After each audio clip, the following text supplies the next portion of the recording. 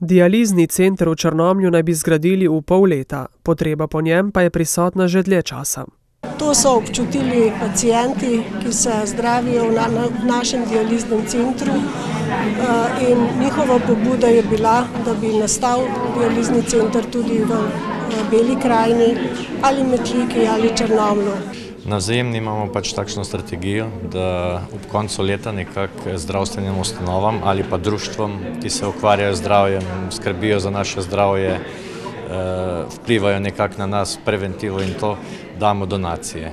To vrstne donacije so njihova praksa v vseh poslovnih enotah in centrali, torej nekje deset vsako leto.